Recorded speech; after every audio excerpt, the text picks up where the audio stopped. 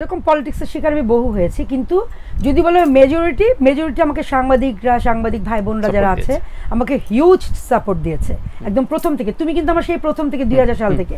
তুমি সকালে যে দাউদ রনি তারপর সীমান্ত কিছু কিছু নাম কিন্তু মনে আসে। যেমন ইয়ের নামও আমি বলতে চাই ওই যে রানা হ্যাঁ। তারপর শৌখিনের নামও বলতে চাই।